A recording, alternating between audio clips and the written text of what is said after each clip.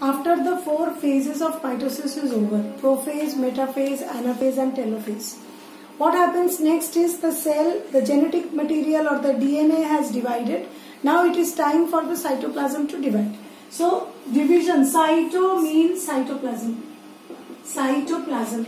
And kinesis means to divide. So the two new cells are formed. In cytokinesis what happens? The cytoplasm the furrow this is the furrow this is the furrow. The furrow deepens and the two cells become separate. So this is division of cytoplasm. So in animal cell there is an aster. This is the nucleus, nucleolus. Remember the chromatin fiber which was visible in the telophase now unwinds even more and after unwinding they look like actual chromatin fibers. So this is how this is how the genetic material or the DNA or the chromosomes or the chromatin looks like. It is no more called as chromosomes. It is called the chromatin fibers. It is called as chromatin fibers. Clear? So this is aster. So that is that is what happens in case of animal cell.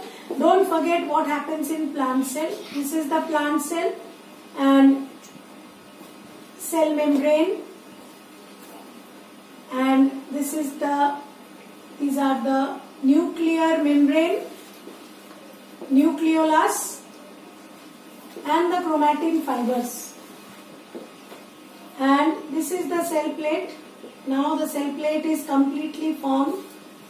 Always remember one thing which I also mentioned in the previous video that in animal cells the cell division the furrowing starts from periphery towards the center but in case of plant cells, the division or the cell plate formation starts from center towards the periphery. Fine. So this is called cytokinesis. This is what happens in cytokinesis. This is how the cells after cytokinesis looks like. Now, one more point you had, and uh, Ishika asked uh, about karyokinesis.